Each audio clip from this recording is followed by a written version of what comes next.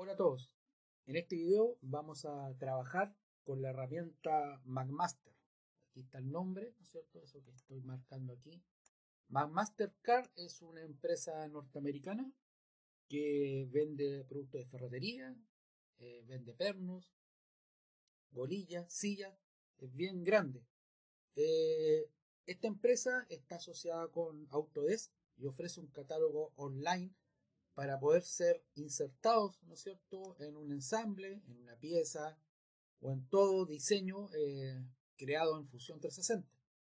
Entonces, acá, eh, por ejemplo, eh, tengo este, este ensamble que es una esfera, ¿no es cierto?, que se gira a cualquier lado em, y tiene una base. el video voy a mostrar cómo insertamos en este caso una bolilla métrico 6 ya que este vástago acá arriba tiene un metro y arriba una, una tuerca mariposa o de paloma que también se conoce. Esta tuerca mariposa eh, es M6 también, por, un, por uno que es el paso, que también coincide con el vástago de acá. Y después aquí hay unos pernos, ¿no es cierto?, eh, que son de tipo Allen. Y aquí abajo, abajo voy a mover el plano dice que aquí en la vástago inferior, ¿no es cierto? Eh, hay un, un rodamiento en la parte de abajo. Entonces, la idea es poder insertar, ¿no es cierto?, esos componentes que son gratis de MacMaster. Entonces, eh, esto lo voy a lo, voy a suprimir, voy a agrandar la pantalla para que se entienda cómo se hace. Lo voy a hacer de dos formas. Una el directo de fusión y la otra lo vamos a sacar de una página web, que son las dos formas válidas. Eh, la primera que se trabaja directamente con fusión eh, es más fácil, pero muchas veces hay un retardo en insertar un componente o a veces, y me ha pasado, muchas veces no se inserta, pero sí eh, directamente por la web que también se puede hacer. Entonces vamos a ver los dos métodos para poder enseñar cómo se ocupa esta herramienta. Entonces aquí tengo el modelo, lo hice en el video anterior, vamos a la parte insertar buscamos insertar Mastercard, que es la empresa. Eh, aquí en los puntitos vamos a hacer un acceso directo. Entonces acá se puede ver el catálogo online. Este catálogo que estoy mostrando acá es lo mismo que yo escribiese por afuera internet, Mastercard va a ser lo mismo. Entonces, lo primero vamos a ocupar una golilla, entonces ahí busco, está todo en inglés, Después, acá es métrico, entonces bajamos aquí con la ventana. Eh, según la versión, puede aparecer eh, en pulgadas o métrico acá arriba, pero acá me aseguro que está en pulgadas. Entonces, eh, ocupamos un M6. Entonces, ahí el M6. aparece una gran cantidad de información, ¿no es cierto? En, en diámetros interiores, ¿no es cierto? De, de qué material, etc. Más allá de eso, lo que me preocupa acá es que la medida, este número M6, eh, prevalezca en, este, en esta golilla o arandela. Acá aparece un 6,4, que es la distancia interior. Recuerden que una golilla siempre tiene una tolerancia, ¿no es cierto? Nunca, nunca es 6 si es M6, tiene un 6,4. Esto está por una norma, una norma. Entonces yo voy a marcar el primero, no me voy a preocupar de esto acá, Voy a ocupar el primero, aquí está el número de código de Master, lo marco y aparece el siguiente cuadro. Entonces voy a marcar el detalle del producto. Entonces aquí se abre nuevamente otra ventana. Aparece eh, de que está hecho la medida, el ID en la medida interna. Entonces, si ustedes ven abajo, aquí está el ID, ¿no es cierto? Si es métrico de 6 por norma 6,4. También aparece el espesor, el diámetro exterior y con eso ya lo podría bajar.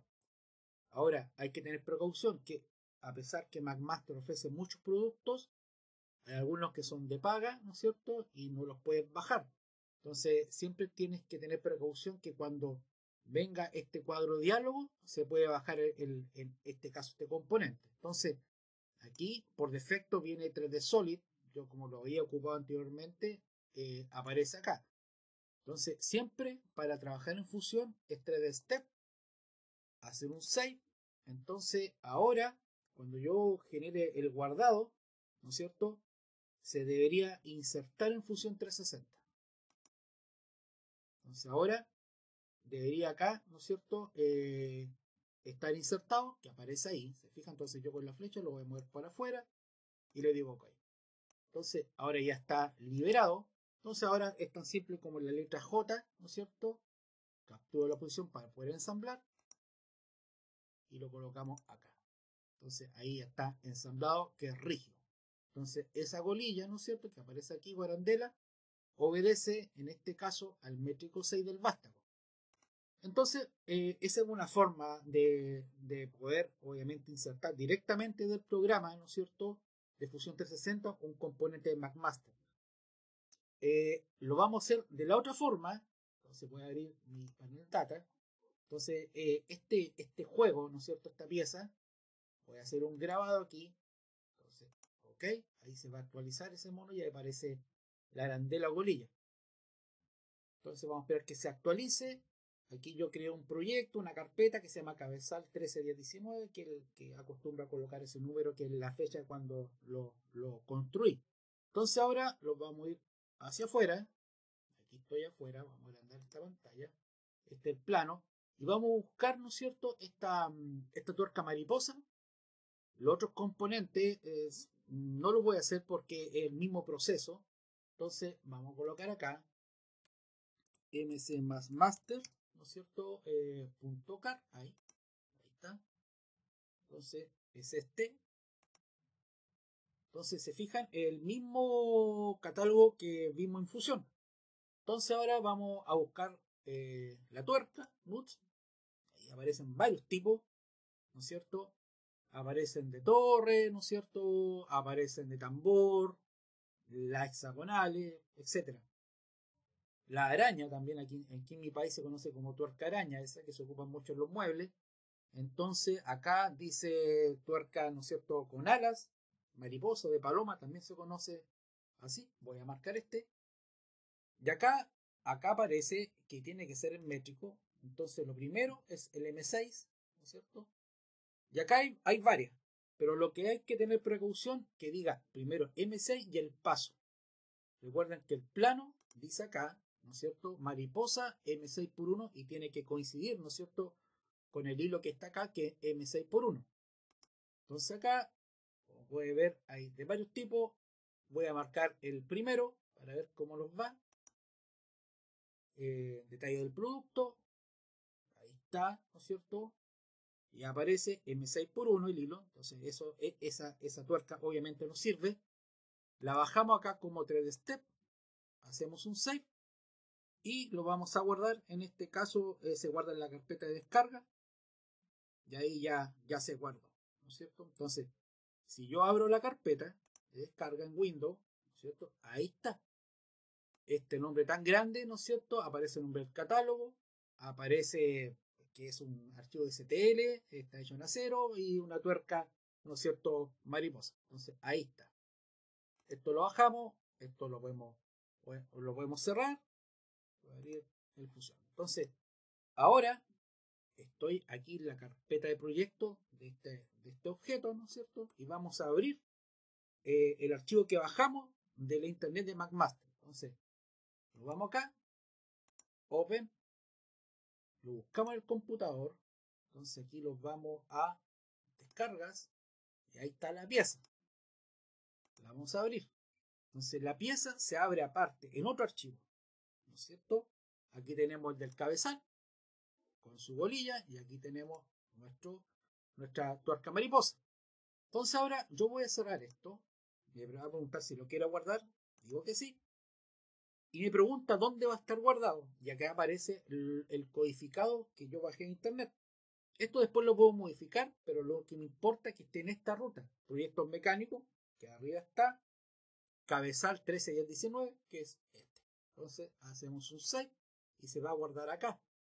¿Se fijan? Ahí está guardado. Entonces ahora lo que hay que hacer es insertar esa tuerca mariposa en este, en este trabajo. Entonces, botón derecho, insertamos el diseño, ¿no es cierto?, en el ensamble. Entonces aquí se va a insertar. Ahí está insertado. Esto lo vamos a mover para acá. Después lo voy a, lo voy a rotar, ¿no es cierto? ahí a, menos 180 y ok. Entonces, el detalle está, antes de ensamblar la tuerca mariposa, ¿no es cierto?, al vástago, aparece una cadena acá. Ahora, ¿qué significa la cadena? Significa que yo lo estoy arrastrando, ¿no es cierto?, de aquí para acá, pero está eh, vinculado a un archivo base que fue el que bajé. Yo lo puedo insertar, no hay problema, pero al momento de yo querer, ¿no es cierto?, exportar este archivo y pasárselo a un usuario, un cliente, si viene la cadena, ¿no es cierto? El cliente cuando abre este archivo no va a aparecer la mariposa porque están vinculados al archivo raíz. Entonces esta cadena hay que romperla antes de ensamblar. Botón derecho, rompemos el link. Entonces dice que sí. Ya ahí está roto. Entonces ahora que está roto, lo vamos a ensamblar, ¿no es cierto? Me acerco, J, captura posición. Entonces, si yo me acerco, eh, hay mucha, eh, digamos, arco y no sabemos cuál. Pero es más fácil colocar el arco, eh, la circunferencia exterior. Ahí está. Y me acerco a la golilla, ¿no es cierto? En la parte superior. ¿No es cierto? Y ahí está, obviamente está rígido porque yo lo apreté. Entonces, hacemos un OK. Entonces, ahora, si yo exporto esto, no va a haber problemas, ya que el link que estaba en su origen está roto. Entonces no voy a tener problemas. Hago un save. ¿Ok? Entonces, esta carpeta, ¿cierto? que teníamos del cabezal, está compuesta obviamente por el ensamble y esta, ¿no es cierto? Y esta tuerca mariposa. ¿Lo puedo dejar así esta carpeta? No hay problema. ¿Puedo eliminar esto? No hay problema. Porque ya está contenido acá. Lo que, lo que sería bueno, por ejemplo, ahora, que aparece el codificado que, es muy grande y después en el, plano técnico va a aparecer de esa forma. Entonces, de hecho, si yo lo veo acá, aparece, yo no, no eliminé el nombre original, entonces de repente tiende mucho a confundir qué es lo que es. Porque aquí, si yo veo el ítem número 2, ¿no es cierto? Dice un nombre aquí súper largo. Entonces, el 2 es la bolilla. Entonces, es más fácil y la fusión y aquí eh, renombrar, ¿no es cierto? El, el, en este caso el componente, yo colocar tuerca mariposa M6, ¿no es cierto? Minúscula por 1. Entonces yo me acuerdo que lo que es, y acá es bolilla o arandela. Eh, lo voy a colocar con mayúscula para que tenga un mismo codificado o mismo orden. M6, ¿no es cierto? Obviamente la colilla no tiene paso, así que se deja M6, no hay más que hacer. Entonces, ahí ya perfectamente eh, son identificables, ¿no es cierto? El, origen que está acá, ¿no es cierto? Eh, yo perfectamente, si esta yo la quisiera copiar, ¿no es cierto? Eh, control C y V, ¿no es cierto? Y se vuelve a copiar. Ahí está, ahí me equivoqué porque está en Windows, es mejor acá copiar, te vas a hacer en general y le haces un paste, ¿no es cierto? Y ahí está nuevamente y nuevamente queda codificado con el nombre que cambié. Entonces eso no lo voy a hacer. Aquí está doblemente, botón derecho y lo suprimimos. Ahora sí, mira, si yo lo coloco acá y lo vuelvo a insertar, debería eh, esta, esta tuerca mariposa aparecer nuevamente acá, pero fíjate, de nuevo aparece con el link y eso es incorrecto. Entonces, esto lo voy a suprimir, ya que lo tenemos listo. Y como pueden ver, no es complejo, solamente hay que fijarse las medidas y lo que uno necesita y saber un poco inglés de repente para algunas cosas en específico. Bueno, eso sería todo. Vamos a grabar aquí. Gracias por su atención.